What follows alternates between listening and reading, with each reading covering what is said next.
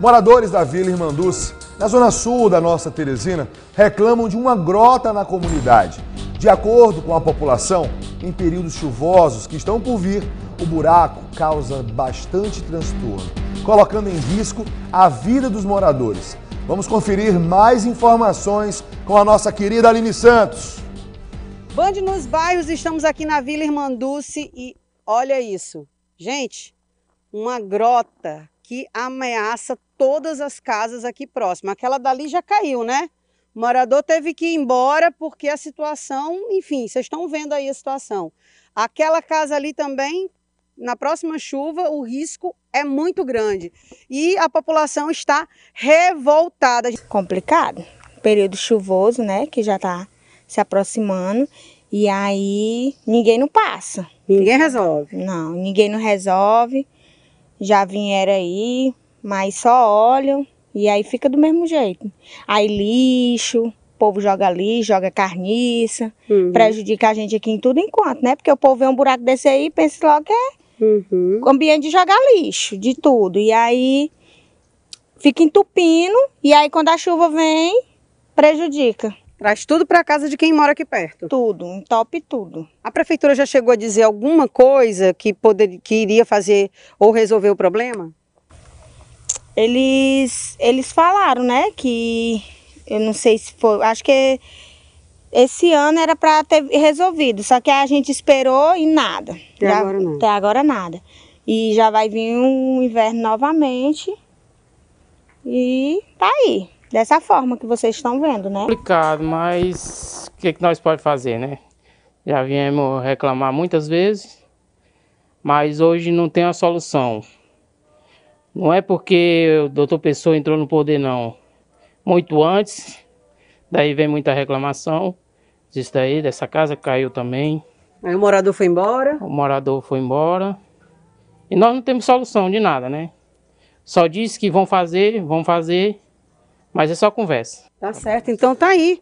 É, é, a gente tem que fazer esse alerta, tá? É, porque a situação é a seguinte: o poder público realmente tem que resolver, mas a população também tem que ajudar, né? Não jogando lixo, porque não é o local, não é isso? Exatamente. E eu também fui denunciado, né? Por causa que eu estou fazendo meu muro, fui denunciado. Mas isso daí ele não vê a denúncia de uma rua dessa, né? Uhum. Que, o que é para ser resolvido? É, não vem para fazer. Mas me denunciaram por causa que eu estava fazendo meu muro. É um direito seu, você está Exatamente. Aí me pediram para mim contratar um engenheiro e aqui eles dizem que estão estudando. Parece que eles são mais burros do que a gente. Uhum. Que a gente não precisa estudar, nós sabemos fazer uma obra dessa. Uhum. E eles que estudam, estudam, não, não tem solução para fazer. Fica só na promessa. Promessa. Tá certo. Tá aí o apelo da comunidade. Estamos aqui na Vila Irmanduce, mostrando a situação dessa grota que, como o morador acabou de falar, não é um problema agora da gestão da Prefeitura Municipal atual, não. É um problema que já vem ó, há bastante tempo. Então aí fica a pergunta, até quando, Montanha? É, minha amiga Aline, mas olha, eu preciso conversar com você e com o morador. O problema sempre vai ser da gestão.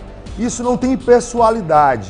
A gente tem que entender o seguinte: uma coisa é você responsabilizar o gestor, outra coisa totalmente diferente é você não imaginar que possa haver resolução.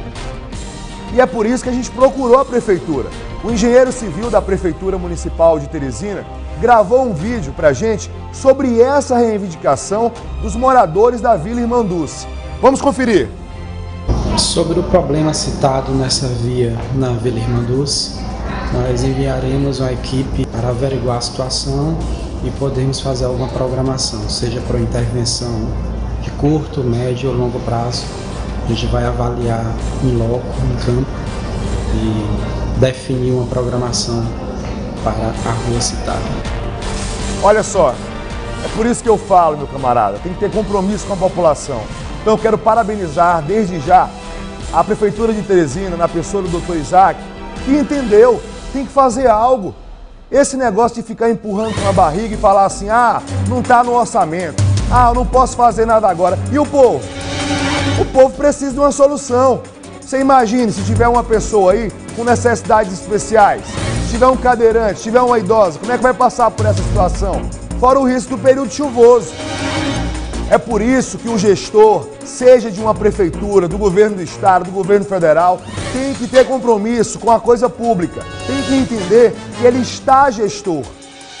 E aqui eu volto a dizer, parabéns ao doutor Isaac por dizer a prefeitura de Teresina vai buscar uma solução de imediato. É essa a resposta que a gente quer quando a gente procura, por exemplo, a prefeitura de, de Timor, que não responde nada.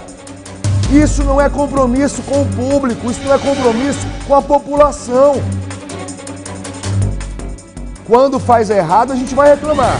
Quando faz certo, a gente vai parabenizar, sem passar pano para ninguém, com muito respeito e compromisso com o povo. É por isso que você pode confiar. 869-8176-1936. Eu não quero elogio, eu quero bronca. Eu quero é o problema do seu bairro, o problema da sua casa. A gente está aqui é como função social. Ninguém aqui é estrela, não. Se fosse estrela, tava fazendo novela na Globo, não era, Pedrinho? Olha só, agora eu quero falar da Protecar.